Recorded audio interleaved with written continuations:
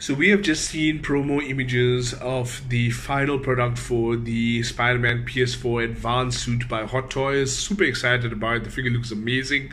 Um, there are a few concerns that I have about it. I generally have some serious FOMO though because like I thought I'd skip this one, and now looking at the final product, I'm seriously regretting that. But you know, let's have a quick look at it together, and then after that we can touch base on you know what our final thoughts are. So let's go. Okay, so first and foremost, the figure comes with a shitload of accessories. I mean, that is just simply phenomenal. I think one of the major uh, plot points in the game was you know all the upgrades that Spider-Man could do on his costume, especially this you know given that it's his advanced suit, and these guys have really gone all out here as you can see. Um, I do note from the promo images, you know, some of the stuff is not shown. There's a little spider sense thing that doesn't seem to be in any of the images. But looking at all these other little things, I just love that little Spider-Man toy. It's awesome, and the little drone over there as well. Um, these guys, uh, I'm really impressed with Hot Toys on this. Even the figure itself, as you can see it, it looks identical to what we saw in the game.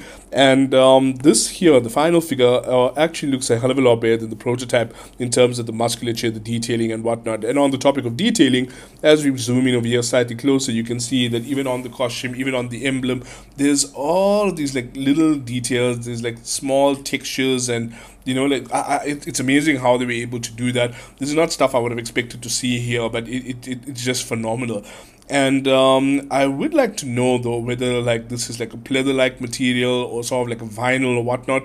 Um, I'm leaning towards plastic and pleather because as you can see over here on the head, it doesn't have that sewing issue that we saw on like the Spider-Man Homecoming figure, for example. Um, this just looks amazing. Probably the, the best Spider-Man figure we've seen to date.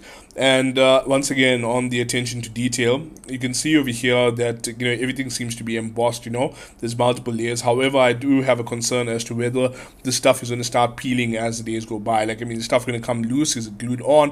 What's going on with that? On the topic of what's going to happen in the future, now I'm worried about the articulation. As you can see, you know, it looks as though it's a very well articulated figure. They can get a hell of a lot of dynamic poses, which you would want from a Spider-Man figure, of course. However, as we've previously seen with the Spider-Man Homecoming um, costume, you know, we, we, we I worry that you know, like with time, the costume is gonna bend and tear and get like little rips in it now because of the nature of the material. I mean, if holding it in dynamic poses is going to damage the figure, then I'm not so sure if that's such a great idea. However, looking at these promo images, it would be a crying shame if one couldn't do that. Um, on the whole, though, I would have to say, you know, this is just such a beautiful figure. It looks amazing. I really can't wait to see one in person. I sincerely regret not pre-ordering myself, but uh, I'm sure I'll be able to pick one up at some point or the other. But I simply love this thing. I have very high expectations of it. A few concerns as well, but um, I'm willing to drop some cash in just to give it a go. But let me know what you think as well.